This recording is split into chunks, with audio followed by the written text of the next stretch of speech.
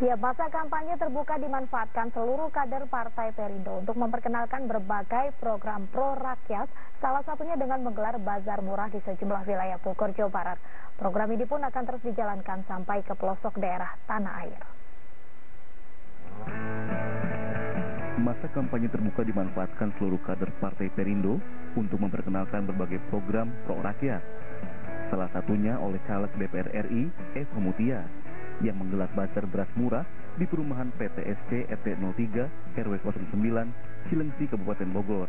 Bazar murah ini disambut antusias warga sekitar yang merasa terbantu dengan adanya paket beras murah seharga Rp10.000 per 2,5 kg Beras murah sangat dibutuhkan warga mengingat himpitan ekonomi yang kian menyulitkan rakyat kecil.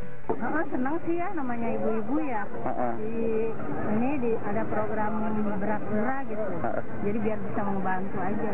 Saat ini kita sering melakukan turun ke masyarakat, bersosialisasi, sosialisasi program-program partai. Karena program-program partai dari uh, Partai Perindo itu sangat menyentuh masyarakat langsung. Ada bazar murah seperti hari ini, ada pogi, kemudian juga kita ada senam bersama, bersosialisasi terus, berkenalan dan bersilaturahmi langsung dengan masyarakat. Bazar beras murah juga digelar oleh caleg DPR RI M. Sofian di Puri Nirwana 2, Kecamatan Cibinong, Bogor. Ratusan kantong beras seberat 2,5 kg seharga Rp10.000 langsung habis di serbu warga. Dengan bazar murah ini, Sofian berharap dapat meringankan beban warga untuk mendapatkan beras dengan harga terjangkau. Program Bazar Sembako Murah merupakan bentuk kepedulian Partai Perindo kepada masyarakat yang membutuhkan. Program ini akan terus dijalankan sampai ke pelosok daerah di tanah air.